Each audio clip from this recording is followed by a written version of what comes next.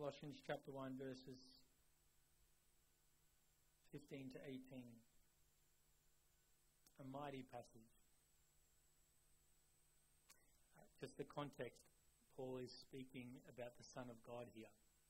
And we've had redemption through. Verse 15. He, the Son, is the image of the invisible God, the firstborn of all creation. For by him all things were created, in heaven and on earth, visible and invisible, whether thrones or dominions or rulers or authorities. All things were created through him and for him. And he is before all things, and in him all things hold together.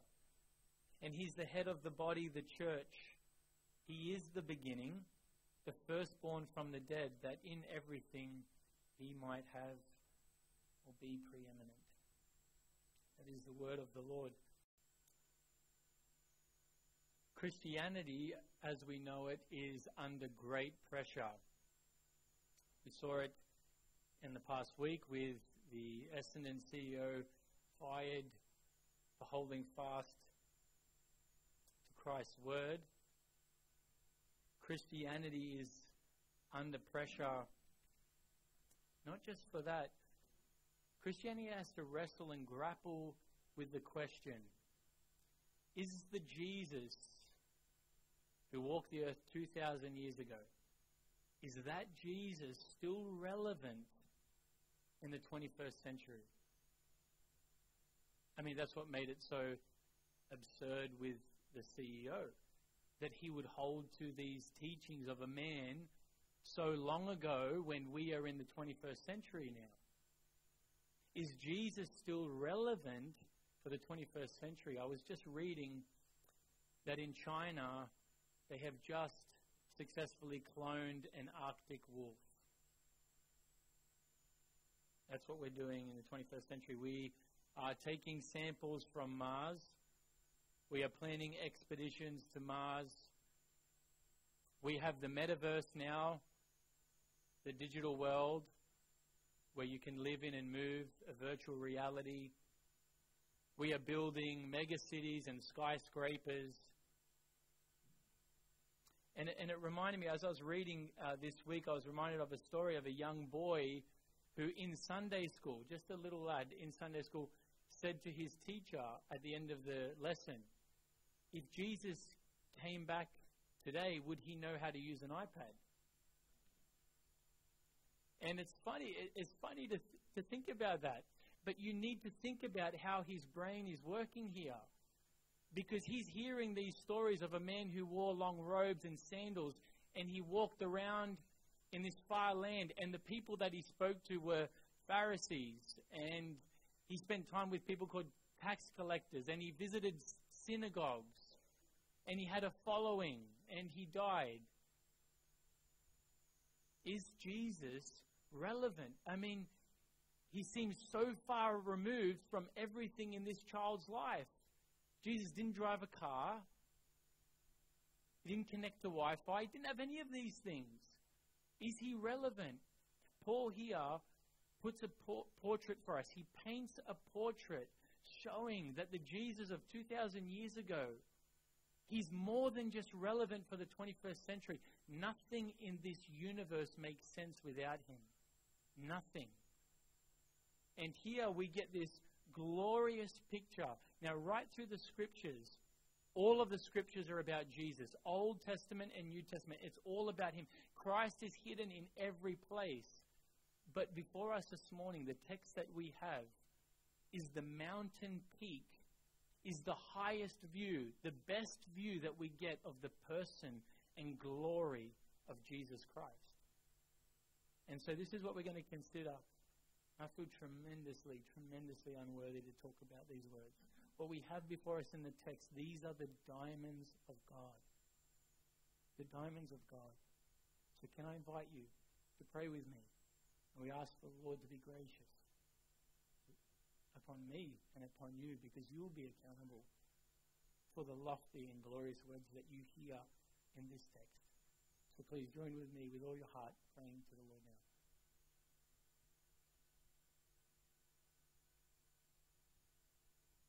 Our Father, we come to you now and we approach an insurmountable height before us. Things too wonderful, things too glorious, things that angels desire to look into and cannot fathom. And yet here we are, seeking to understand them, but we do not do it because we're arrogant or because we're proud, but because it's in your word and you want us to know these things. And so, Lord, what you desire for us, may you grant to us. Give us understanding. May we see your Son as he is painted and displayed so magnificently in these words. And we pray for the help of the Holy Spirit. If he does not come, all will fail. So work in both the preacher and the hearer, that every and each and every one may be turned to worship of your great Son. And we ask it in his name. Amen. Well, here we have this glorious portrait of Christ that is put here, but again, with everything that is written in Scripture, has a context. Paul doesn't just paint here for the sake of painting because he's got all the spare time. What do we see? He's in prison. So he's writing this for a reason. Now, what's the context? false teachers had come in and they are presenting God, Christ, and this universe in a distorted way. They are saying that only what is spiritual is good, and anything that is matter, anything that is created, even creation itself, it's all evil. Anything physical is evil. And therefore, if this physical world in itself is evil just by being physical, then God didn't create this world. But you have God at the top, and then out of God are manifestations that came out of God, different emanations, different spiritual forces that came out of God. One of those spiritual forces was Jesus, the highest one. But then there were other spiritual forces, lower and lower and lower and lower and lower, until you get one of them who made this earth. And so between heaven and earth, there are all these emanations and manifestations of God, different gods as they were. And Christ is far removed from that. God is far removed from that. And Paul cuts through this, all of this, and he paints a portrait of who Christ is. So we're at three points this morning. The first one, if you're taking notes, I hope you follow. The first one, we see Christ's majesty in the Godhead. Christ's majesty in the Godhead. Look at verse 15.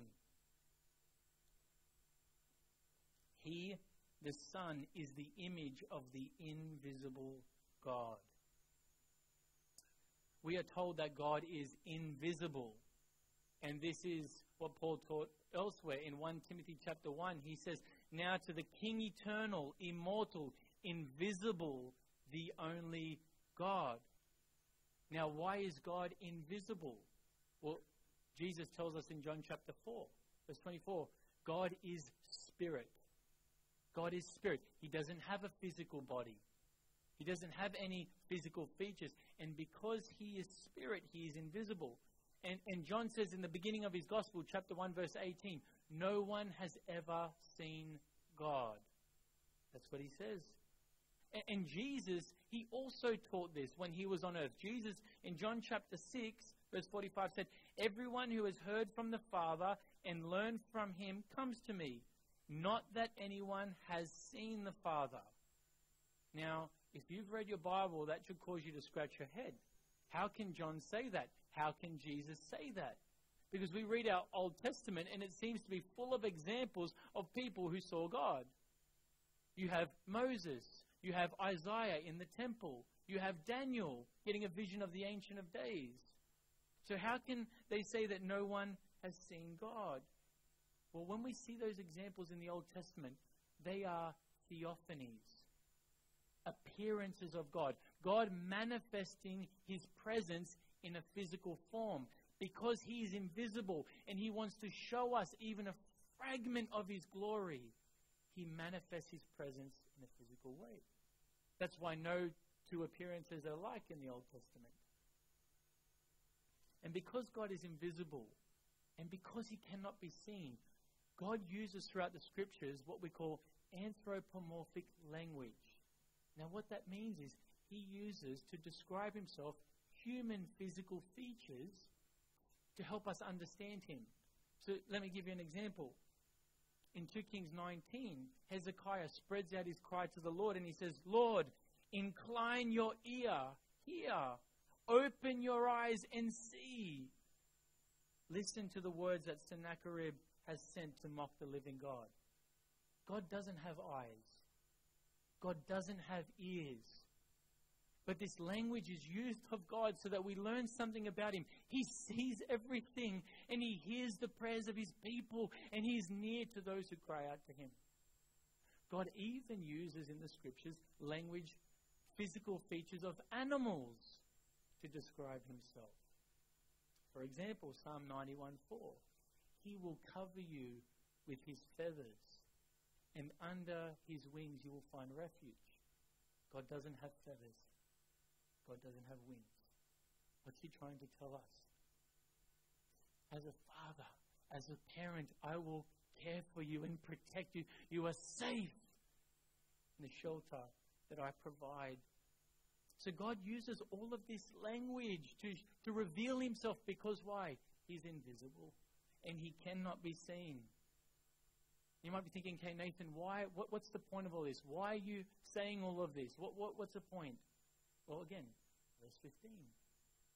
Christ is the image of the invisible God. Now, when we see that word there pop up in relation to God, when we see the word image, we should immediately cringe. We should be shocked. We should be appalled that Paul would use that word. Why? What does God continually warn against and forbid in the Old Testament? You shall make no images of God, nor shall you worship an image that is made either of something in heaven or on the earth. Why does God forbid it? Because He is invisible. Anything that is made of Him is idolatry. Because no one has ever seen God. And yet, Paul here says that Jesus is the image of the invisible God. And as you hear that, you must think immediately, such words must be blasphemy unless the man Jesus is so much more than any other man. Unless the man Jesus is Emmanuel. God with us. Earlier I read only the first half of John chapter 1 verse 18. Let me read the first and the second half. John says, No one has ever seen God, but the one and only Son, who is himself God and who is at the Father's side, he has made him known the Son. It's not a glorious creature that is the image of God. No, Philippians 2 6. Christ, Jesus Christ, who was in the very form God, did not account quality with God something to cling to. He is the Son of God. A few weeks ago, you may remember, you who were here, we looked at Psalm 19. And what did we see there? The heavens declare the glory of God, and the skies proclaim the works of his hands. God has revealed himself through creation. We see his divine nature, that he's powerful, that he's wise, and that he's good in how he's made this world. We see all of those things. But what did we find out? Man sees something of God, but he builds idols because he doesn't understand who God is. So what does God do? He cuts through the confusion and he gives us his word. He gives the scriptures, the spoken and written word of God. And there in the scriptures, we see what he is like, his attributes, his perfections. We see his will and his plan for this world. And then finally, at the perfect timing, God fully peels back the curtain. And we read Hebrews 1. Long ago, at many times and in many ways, God spoke to our forefathers by the prophets. We have the scriptures. But in these last days, He's spoken to us by His Son. The Son is the radiance of the glory of God and the exact imprint of His nature. Now God has revealed Himself. See, before God spoke and He put words on the paper for us to know him. And now the Word, who was God and who was with God, that Word became flesh and dwelt among us. God took on human nature. God came down to us. See, the infinite, the almighty, the invisible God, He came so near to us. Not only could we now hear Him, but we could see Him. Not only could we see Him, but we could touch Him. And not only could we touch the hem of His garments, but we could converse with God face to face. And it was just like the days of Eden when man walked with God. And God was walking this earth. Walking this earth.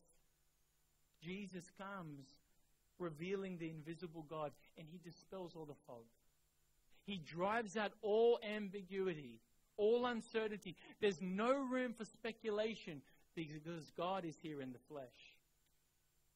And he is seen. Do you remember Philip when he comes up to Jesus not long before Jesus is about to die, and Jesus, uh, Philip says to Jesus, Jesus, show us the Father, and it'll be enough. And Jesus looks at him and says, Have I been with you so long and you still don't know me, Philip? How can you say, Show us the Father? He who has seen me has seen the Father. That's what he says. He is the image of the invisible God. Understand, when it comes to God, not all roads lead to Rome. There can be no knowing God outside of Jesus. There can be no relationship with God apart from Jesus. There can be no pleasing God apart from Jesus. He is the image of the invisible God.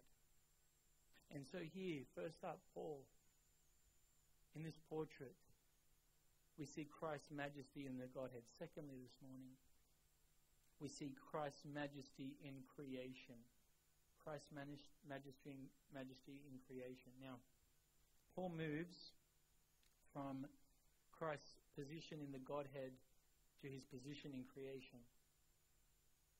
And this is where Paul spends most of his time here. Look at verse 15, the second half. He's the image of the invisible God, he is the firstborn of all creation.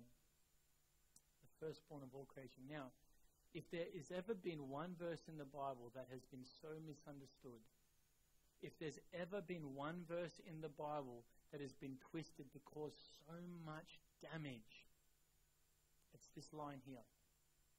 It's this line that he is the firstborn. It's been used to promote great heresies the firstborn of all creation. Now, you can see it's not hard to fall into error here when you look at it at first glance. It seems to read if Jesus is the firstborn of all creation, then that must mean that he is the first thing that God created. In the fourth century, there was a church leader, church history. His name was Arius. And he promoted this view of Jesus that Jesus was God's first created being. And all the church leaders, leaders gathered together and they drove him out of the church. He was kicked out of the church for the heresy. And just like Satan, when he rebelled against God, he took all the angels with him. And so Arius took a bunch of followers with him, preaching that Christ was a created being. Now, we have a modern cult today who has taken on the teaching of Arius and promoted it. And we know them well, the Jehovah's Witnesses. They deny the Trinity and they preach that Jesus is a created being. And they have many followers today, and they both appeal to this verse here the firstborn of all creation. Now, are they right? How are we to understand this? It cannot mean that Jesus is a created being, because in the same breath, Paul has just said that he is God in the flesh. He's the image of the invisible God. It's impossible. It's a wrong interpretation. But how do we understand it? Do we need to kind of fix up what Paul's written here? He's kind of clumsy with his words. Let's try and come up with an interpretation that fits what we understand about God. No, we don't need to do that. We just need to read the scriptures. The Bible will tell us what it means. The firstborn is used in the Old Testament repeatedly. Repeatedly. It refers to status, someone's position, and a high position. Think about in the Jewish household, who was the one that received the blessing? The firstborn. Who was the one that received the majority of the inheritance? The firstborn. Who was the one that got all the benefits of the family name? The firstborn. And in the Jewish monarchy, who was the one that succeeded the king's throne? The firstborn. See, when we read the Old Testament, it here refers to status. In Psalm 89, it's a, prof, it's a psalm about the future Messiah. It talks about David, but then it points forward to the greater David and the Messiah. Look how it uses the term firstborn. Psalm 89, 27. God says, I will make him the firstborn, the highest of all the kings of the earth. You see what it means there? It means supreme. It means first. So for David, it meant that he would be the greatest king in all of the land. He would have the greatest kingdom. What does it mean of the Messiah, of the Son? It's another way of saying he is the King of kings and he is the Lord of lords. He is sovereign over this creation. And it is another example that one day every knee will bow before him and every tongue will confess that Jesus Christ is Lord to the glory of God the Father. He is absolutely supreme. He is a sovereign ruler. Now, what does this mean for us? It means that Christ is due our utmost loyalty, our utmost submission, total undivided hearts, utmost reverence. So great a Lord is He. Every knee will bow one day. Do not be one of those who does it under compulsion under his wrath on the final day. Why? When he reaches out his scepter even now. So why is Jesus the firstborn over all creation, the sovereign? Why is that? Well, Paul gives a few reasons why now. Look at verse 16. For by him all things were created in heaven and on earth, visible and invisible. Now, this is an incredible claim. It's, it's almost incomprehensible when you look at this. The Jesus of Nazareth, the carpenter's son, he's the one that created the entire universe. Now, is Paul a madman to say this about that Jesus? No, no, no, no. The Apostle John, he also understood this and said it. John chapter 1, verse 3. Through him everything was made. Not one thing in all creation was made without him. Not one thing. Now, why does Paul? Paul says that Jesus created all things, but he feels the need to say things in heaven and on earth. Why, why does he feel the need to do that? He said all things. He's pointing us back to Genesis chapter 1, verse 1. In the beginning, God created the heavens and the earth. You know, people ask the question, where is Jesus in the Old Testament? Where is he? I don't see him. He's in the very first line. You just need the New Testament glasses to see him there. He's the one who created the heavens and the earth. And see, that settles the lie of Arius, and it settles the lie of the Jehovah's Witnesses. He's not a creature. He was not created. He is the creator. He is the creator, and he's nothing less and it settles the lie of the false teachers who came to Colossae, saying that Jesus and God, they're so far removed from this creation because creation is evil. No, Paul says he is the creator of it, and he made it good. So Paul goes on to say that he created things, all things in heaven and on earth, and then he says things visible and things invisible. And look at these invisible things. What are these invisible things that he created? verse 16, the second half there. Things visible and invisible, and he gives us what the invisible is, whether thrones or dominions, or rulers or authorities. Now, here, when you get those thrones, dominions, rulers, or authorities, that's Jewish language there. That's how they spoke of angelic beings. The Jew, Jews, and especially these false teachers coming in, they used to think that there was rankings of the angelic beings. They had different authority levels. So that's why you get thrones, dominions, rulers, different classes. Now, when we get this here, Paul is talking about good angels and he's talking about bad angels. The good angels who, God, who are God's ministers, they come, God sends them to protect us in our daily lives. You don't see them, but they're always at work. They're faithful ministers. But he's also referring to bad angels, fallen angels, including Satan himself. Now, the false teachers, Paul is cutting into that. We're going to see in a few weeks what they were actually teaching. Let me give you the heads up. In chapter 2, verse 18, Paul writes to the church, and he says, Let no one disqualify you, insisting on asceticism and the worship of angels. They were leading the church to start worshiping these spiritual beings of high ranking. And, and how does Paul cut through that? Jesus created them. He's the creator over all the spiritual beings. Now, he didn't create them evil, he created them like he created Adam and Eve. Good. But like Adam and Eve, some of them chose to rebel and come out from joyful submission to him. And they rebelled. So, Paul's point here is that Christ has authority over all the physical creation and all the spiritual creation. All of it. He is sovereign and ruler over. And as I was thinking about this, um, and I was sharing it with Brooke earlier on in this year, um, my belief of this was, was tested.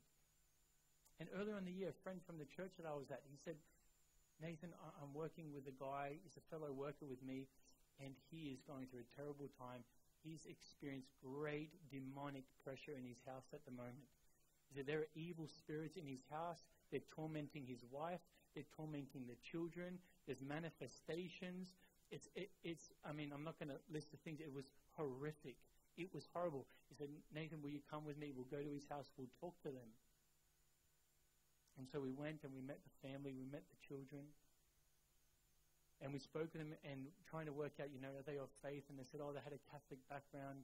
They called the priest to come. He went to the front door. He left straight away. And we started talking with them. They didn't have any faith. And as they were talking and saying all of these things, and then they said, well, you're a pastor, right? So, you know, we've tried burning incense. We've read stuff online. You're a pastor. I said to them, you coming to my church is not going to fix anything here. But look at all these, these things are happening. They're tormenting our kids. They're seeing things in the house. So what were me and my friend to do? What were we to do in that moment? There's only one thing to do in that moment. Give them the gospel of Jesus Christ. There is only one in the scriptures who had power and authority over the demons. There is only one whom the demons trembled before, and it was Christ. And saying to them, Listen, we can't say a magic prayer for you. Demons may be coming against you, but if you are not in a right relationship with Christ, He is not for you at the moment. You need to be reconciled to God. You need Christ to forgive you of your sins. We are here because we're not afraid, because we're covered by Christ. But you need Christ. And they sent us out. Christ alone has authority over the physical creation and over all things spiritual. Not only did he create them, but Paul says why Jesus created them. Why did he create all of these things? Why did he create this universe? Look at the last line of verse 16. All things were created through him and for him. For him. See, Paul unveiled creation's beginning. Jesus created everything.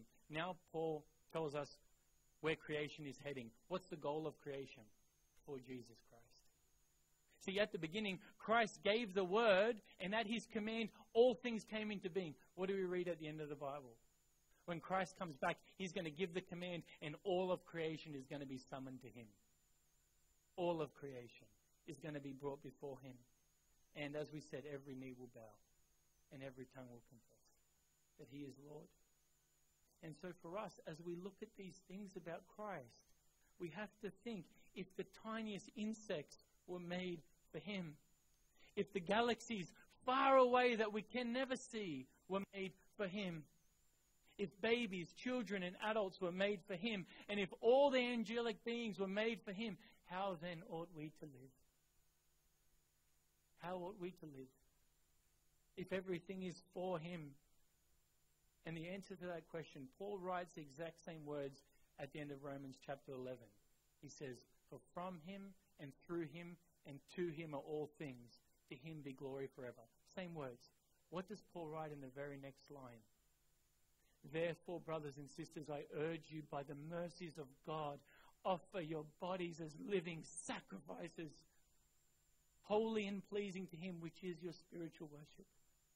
How ought we to live before someone so great and glorious? Offering our lives as living sacrifices. All in for Jesus. Not one foot in and one foot out. Not half in, completely and totally for Him. We were made for Him.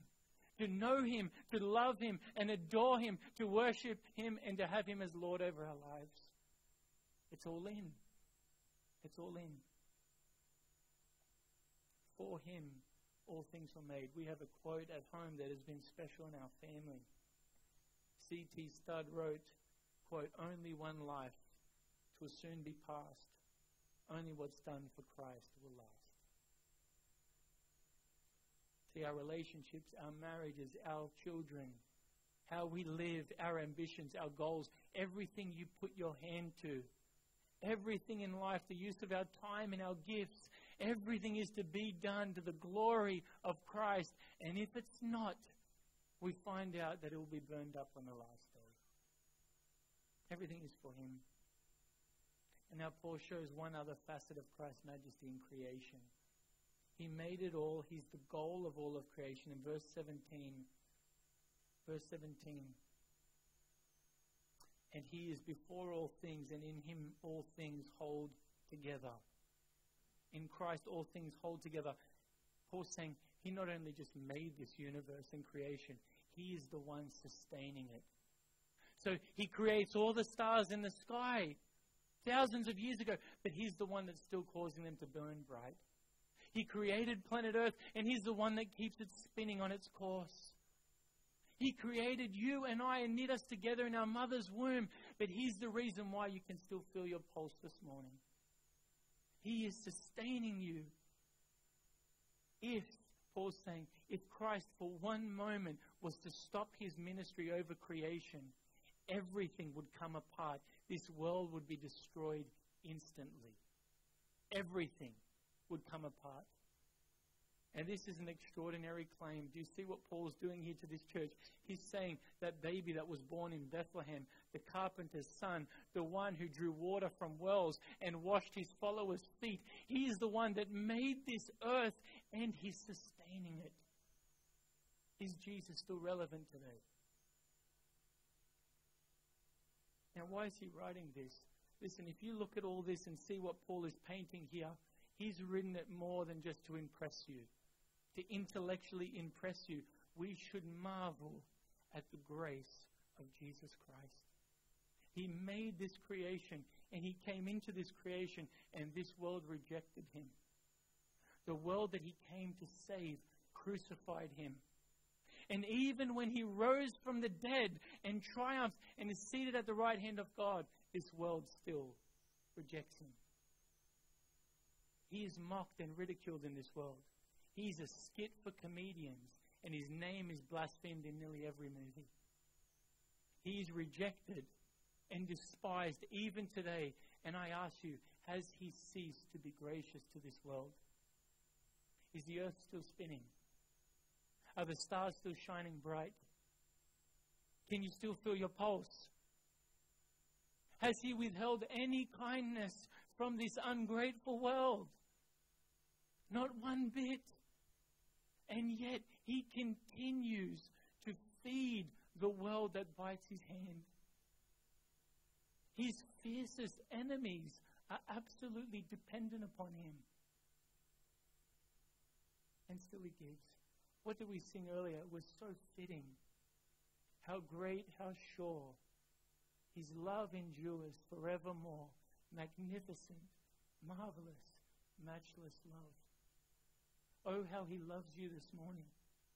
He loves you. He loves you. Have you received him?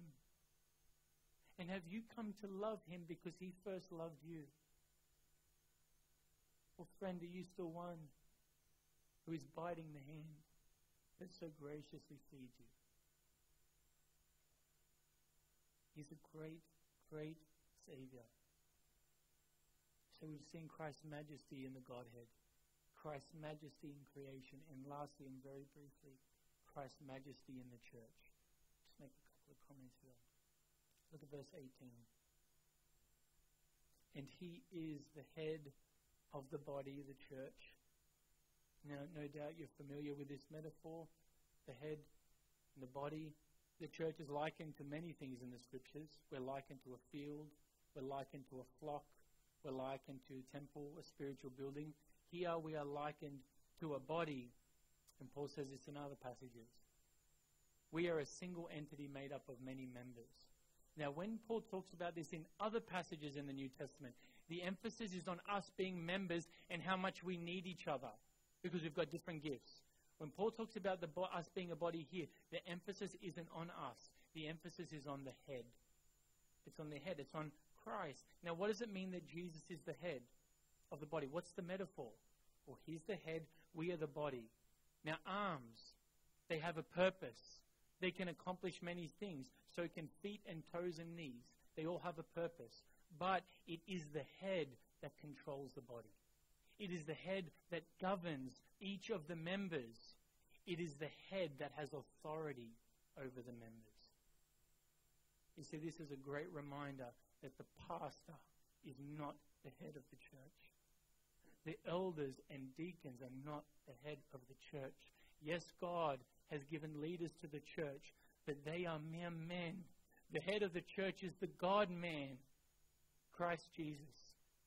He's head and he holds authority, all authority over the church. He said when he left, before he went to heaven, all authority in heaven and on earth has been given to me.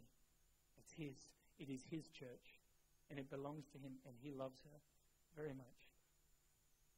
But the metaphor of the head over the body, it means more than just that he has authority over us. The metaphor shows that the head also nourishes and gives sustenance to the members. It's what gives life. Christ as the head of the church, he continually nourishes us and gives us spiritual life. You know, Jesus gave another metaphor for this, of his role in our lives. He said, I'm the vine, and you're the branches. If you abide in me, you will bear much fruit. But apart from me, you can do nothing. He gives spiritual life to the church. He nourishes us and sustains us in Christ. Do you see what Paul is painting here of Christ? It's marvelous. He's bringing everything together. He said, not only did he create the universe, he sustains it. Not only did he create the church, but he sustains her. He's nourishing her. He is everything. It's all about him. He's building his church. And he's not just the head. Look at verse 18, the second line there. He's the head of the body of the church. He is the beginning. The church has its origin in Christ. Just as Eve was taken out of Adam, so the church came from Christ and has its life from him. He is the source of our life and existence, the church. Well, what else makes him the head of the church? And this is where Paul wraps up. Verse 18, that third line there. He is the firstborn from the dead. The firstborn from the dead. This is referring to his resurrection from the dead. Now, we come back to that word again, right? Firstborn. He is the firstborn from the dead. What does it mean? Christ was not the first one ever to be raised. Elijah raised a widow's son. Elisha raised a boy. Jesus raised a little girl from the dead. And he raised a grown man from the dead, Lazarus.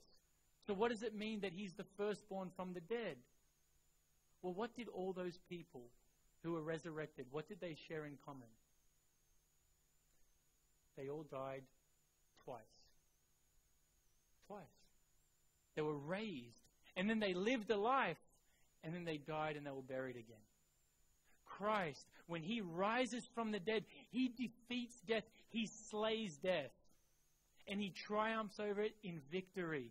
And so too, the church who receives its life from him, we too will rise from the dead because he's the firstborn. What is Paul saying, Corinthians?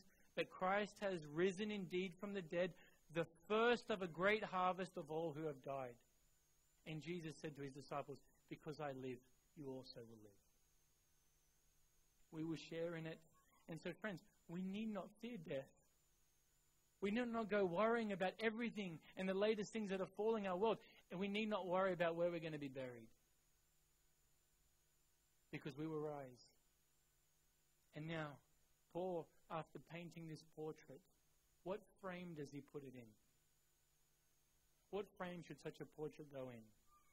Well, there's only one way. Look what he says. He is the first, firstborn from the dead, that in everything he may be preeminent. Why does he paint this portrait for us?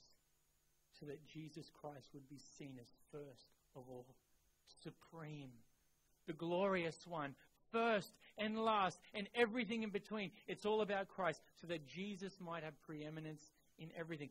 Is Jesus still relevant in the 21st century? He's not just some distant Bible character in that features in our stories. What do we sing in the very last song? It's about your son. It's more than just stories on pages. It's about your son who's come to live here with us. He is relevant. And so let me close. Let me close. The reality is that Christ is supreme over all things. And so the question becomes Has this reality affected your life? Who He is? And there's two groups among us this morning. The first group, let me ask you do you live for yourself? Do you live for what pleases you and what you want in this world? If that's you, you are an idolater. You were not made for yourself. You were made for Him. And He loves you. And the Maker came down to earth to die in your place, to suffer for your sins, so that you may have peace and life and be reconciled to God. And so I plead with you this morning if that's you, repent of your sin and come at His feet and believe in the Lord Jesus Christ for the forgiveness of sins. And whoever comes to Him, He will never cast out. Ever. Never. There is another group this morning. For the Christians in the room. Is the reality of who Christ is, is it affecting the way that you live? Is it affecting how you're using your time? That remember, remind you of that quote, C.T. Studd. Only one life will soon be past. Only what's done for Christ will last. Are you living for Him? Let's not live one foot in the kingdom and one foot in the world. Let's go all in for Christ. Let's live completely to Christ. And let me urge you with the Apostle Paul, by the mercies of God, I plead with you, offer your bodies as living sacrifices to one who is so great. Let us live for him in every part of our lives, so that he may be preeminent in all things. Let me pray. Father, we worship you. And we come, and as we honor you, we want to honor the Son, your Son, the Lord Jesus. We thank you for these words. They are too great for us, and we have scratched the surface. But we pray, Lord, that we have seen enough for now, and we pray that it would begin a search in our lives to know you more, to know the Lord Jesus Christ more.